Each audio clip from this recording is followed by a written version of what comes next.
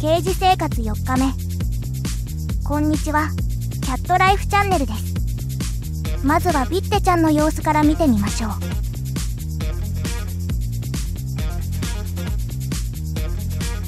驚かせてごめんなさい。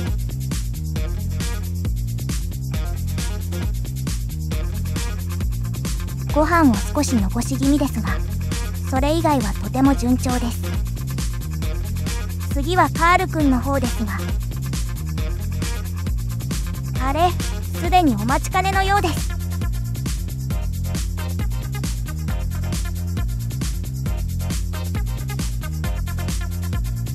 排便もご飯も問題なく順調ですね。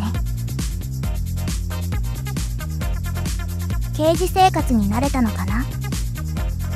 では積極的にコミュニケーションをとります。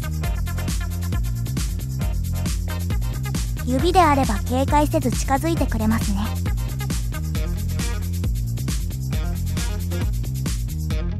次は手からドライフードをあげてみましょう。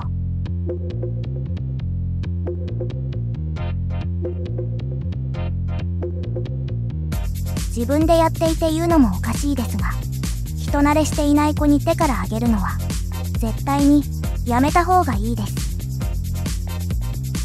フードしか見えていないので勢いでフードと一緒に手も噛んできます。噛みつかれはしなくても剣士が強く当たるだけで手を怪我します。数百回して慣れた管理人でも稀に手を怪我することもあります。ではそんな危険なことをなぜやるのか。反応の仕方で性格や人慣れ度が多少わかるので険覚悟であえて素手でやっています。とはいえ明らかに攻撃性のある子や過度に緊張している子には危険すぎるのでできません。ちなみにビッテちゃんにはまだできません。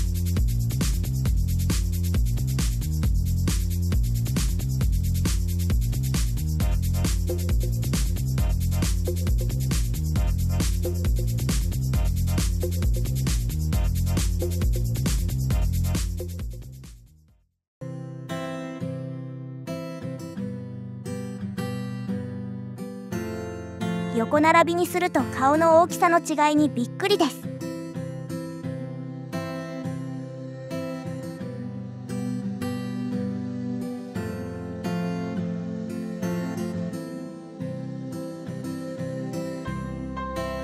何も知らない純真な子たちがいろいろ経験して日々成長していく姿を見ていると楽しさと充実感を感じられます。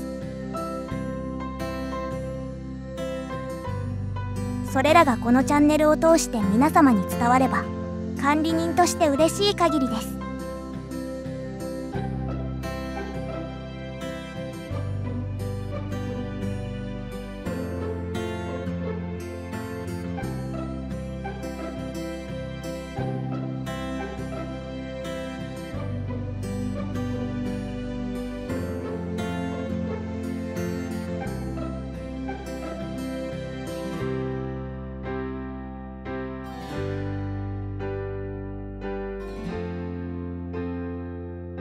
ご視聴ありがとうございました。